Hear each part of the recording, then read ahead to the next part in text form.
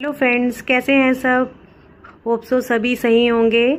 आज फ्रेंड्स, मैं आपके लिए गाजर के हलवे की रेसिपी लेके आई हूँ, जो हम बिना मावे के बनाएँगे, बिना घी के बनाएँगे। सिर्फ़ दूध के साथ ये हमारा गाजर का हलवा बनेगा।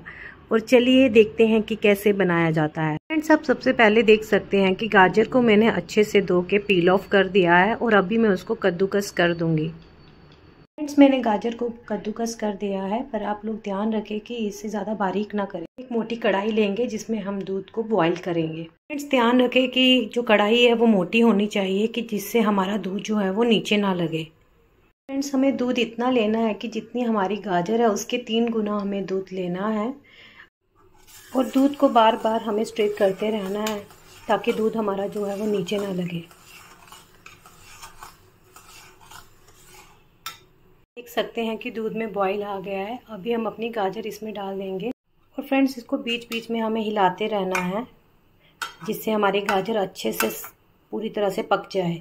और कम से कम फोर्टी फाइव मिनट जाएँगे इसे पकने में, और हो भी सकता है कि एक घंटा लग जाए। फ्रेंड्स आप देख सकते हैं कि दूध में बॉईल होने के बाद हमने इसमें गाजर डाल आप देख सकते हैं कि दूध सूख रहा है, और हमें तब तक पकाते रहना है जब तक पूरी तरह से दूध सूख ना जाए। तभी तो मावे का टेस्ट आएगा।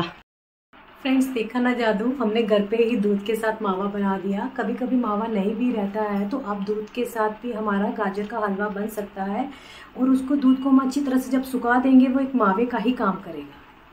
फ्रेंड्स आपने देखा ना कि दूध पूरी तरह से सूख गया है लेकिन हमें इसे और अच्छे से करना है कि ताकि इसका जो घी छूटेगा तो, तो हमारा जो गाजर है वो अच्छे से भुन के रेडी हो जाएगी। साथ साथ में नट्स को भी रेडी कर देंगे टॉपिंग के लिए।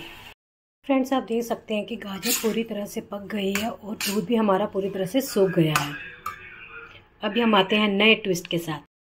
फ्रेंड्स नया ट्विस्ट जो है वो ऑप्शनल है कि आप लोग घी उसमें डाल सकते हैं। हम इसमें घी डालेंगे और फिर नट्स को फ्राई करेंगे अच्छे से। फिर मिक्स करेंगे। बट ये ऑप्शनल है। कोई ज़रूरी नहीं है कि हमें हमें ये डालना ही डालना है। फ्रेंड्स नट्स को अच्छे से फ्राई करेंगे।